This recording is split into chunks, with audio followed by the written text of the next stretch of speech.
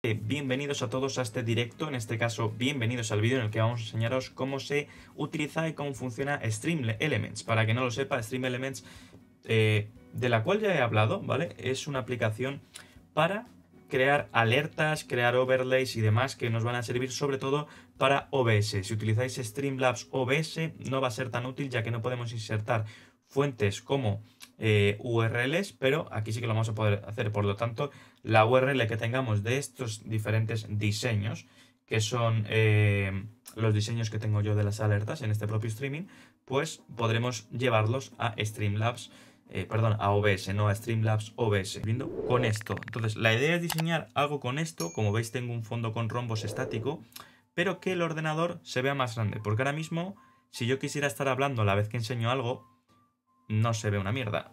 Perdón por la palabra. Entonces, la idea va a ser diseñar algo que me permita hacer esto, ¿no? Y para lo, tanto, por lo tanto, vamos a utilizar eh, pues Stream Elements. Así que, ¿cómo funciona? Muy sencillo. Primero tienes que encontrar, vamos a cambiar de escena. Podéis crear una escena, podéis crear una escena en eh, en, blanco o podéis utilizar una que ya esté creada. Esta, por ejemplo, este fondo dinámico que estéis utilizando, si queréis, si os es útil a los que estéis viendo el vídeo, si, publico esta parte del, directo como vídeo, eh, os dejaré el enlace en la descripción para que veáis cómo, eh, de dónde he sacado este recurso que es del, básicamente es de un Discord. Entonces, aquí como veis tenemos varias opciones. Estará cortado la parte de arriba y la parte de la derecha, donde aquí a la derecha, que no estáis viendo, hay una opción que pone Save, ¿vale? Es lo único que os estáis perdiendo. Básicamente era para que no se vea arriba las URLs y que no sea una cosa que, moleste y ver, ver, todo esto, que creo que con esto nos va a servir para el, para el propósito que tenemos ahora, que es el, el diseño. Básicamente, ¿qué hemos hecho? Hemos ido a Settings de la imagen Change Image, que estáis viendo aquí. Bueno, ahora no estáis viendo el cursor. Y Drag and Drop. Upload. Y la subimos. Ahora sí. ¿No estáis viendo el cursor? Mierda. ¿Por qué ahora no estáis viendo el cursor? Ah, sí, sí, sí, ahora lo estáis viendo. Vale, ahora hemos cambiado la imagen. Creo que se de... Ah, no. No la hemos cambiado. Vale, submit. Ah, la hemos subido simplemente. Y ahora sí que la hemos cambiado. Perfecto. Vamos a enseñaros cómo añadir el chat. Lo que os he dicho. Alertbox. Como veis en el Alertbox tenemos eh, las diferentes cosas que luego hay que poner para los followers y demás. Se pueden copiar desde otros eh, sitios. Entonces vamos a hacer simplemente como veis, aquí se crearía la alert box, pero como a mí me va a dar un poco de pereza configurarlo, porque vosotros entráis aquí y dentro de follower alert podéis poner, voy a enseñároslo para el vídeo y luego yo ya voy a copiar y pegar la que tengo. Aquí podemos copiar y elegir la imagen que queremos poner, la imagen o el vídeo. Yo tengo vídeos, son GIFs. Podemos controlar el volumen y añadir sonidos. Elegir qué es lo que va a salir. Por ejemplo, aquí pone name is following. Cuando sale esto, entre paréntesis lo que significa es que va a salir el nombre, va a salir el nombre de la persona que nos sigue. Y aquí podemos poner, pues en vez de is now following, eh, bienvenido, o lo que sea, o nos está siguiendo. Nos acaba de seguir. Entonces aquí vamos a poder personalizar un poquito las cosas que vamos a hacer. Ya os digo, con las alertbox tenemos para los seguidores, para los suscriptores, para las donaciones, para los cheers, para los hosts, los raids y las compras. Pone eso XD, papi. No, no, lo que vamos a hacer es copiar las que tenemos ahora, ¿vale? Entonces, vamos a copiar las que tenemos ahora. Ah, bueno, y os voy a enseñar cómo se prueba. La alert box se ha creado aquí. Entonces, para probar, vamos aquí, emular un nuevo seguidor. Entonces, así es lo que saldría. ¿Por qué sale aquí la otra?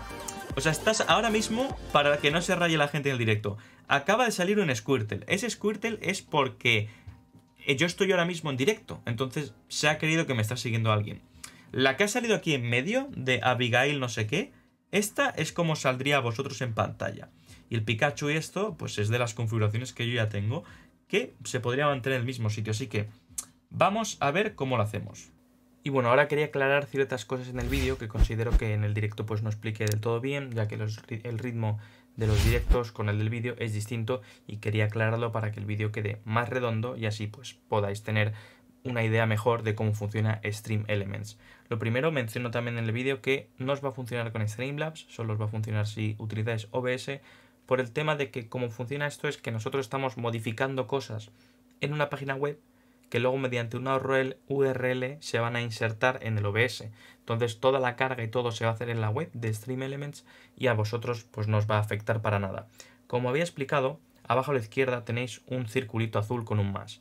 En este más vamos a ver nosotros las diferentes opciones que tenemos para introducir a nuestra eh, a nuestra escena. Y antes de nada quiero recomendaros que tenéis que haceros un diseño. Como estaba diciendo, os recomiendo que tenéis que hacer un diseño. Este diseño podéis hacerlo en el Canva, que es una aplicación gratuita que es muy útil, o podéis hacerlo desde Affinity Photo. Básicamente es para que os hagáis una idea de cómo se va a ver lo que estáis haciendo en el directo. ¿Por qué digo esto? Si empezamos a meter nosotros las alertas, los suscriptores, los, los seguidores y todo así a lo loco, en el, lo que viene siendo el widget sin fondo, por decirlo así, no vais a saber, o a mí me cuesta hacerme una idea de cómo va a quedar en el directo. Por eso os recomiendo que, pues yo tenía unos recuadros naranjas en los cuales se supone que iban a ir el ordenador, a ir la cámara y así me hacía una idea de los tamaños. Entonces, si le damos ese más que os estaba comentando, lo primero que tenéis es un apartado que pone alerts, donde lo más importante, como he explicado, es alert box, donde podréis elegir si queréis poner los suscriptores, los seguidores,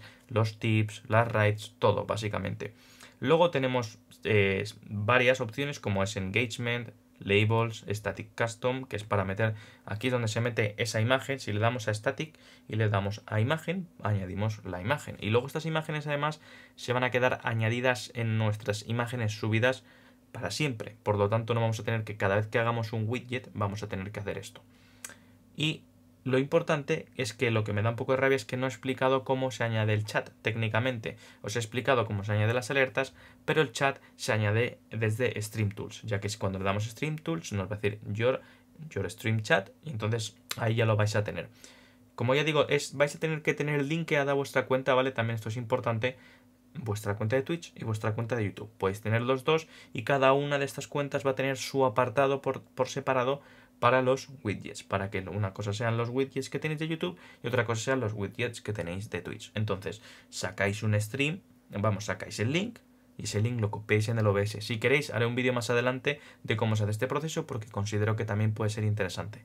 Así que nada, espero que os haya gustado el vídeo, sobre todo espero que haya dejado más claro todo esto. Me habréis tenido de fondo editando el, el lo que viene siendo el widget y como ya le quiero decir, si os gusta o si os quedáis con dudas podéis preguntarme en los comentarios, pasaros por los directos que suelen ser en YouTube y en Instagram, los horarios se avisan, suelen ser miércoles y jueves a las 7 de la tarde hora española y quiero introducir ahora directos un día por la mañana, ya sea en Twitch o ya sea en YouTube, pero si queréis estar 100% seguros de cuándo van a ser subidos o cuándo van a hacerse estos directos, podéis seguirme en Instagram y en Discord, que también tenéis los enlaces abajo en la descripción, ya que por ahí se avisan siempre los directos, así que nada, como siempre digo, espero que os haya gustado el vídeo, darle like y suscribiros para más y nos vemos en el siguiente vídeo. Hasta la próxima.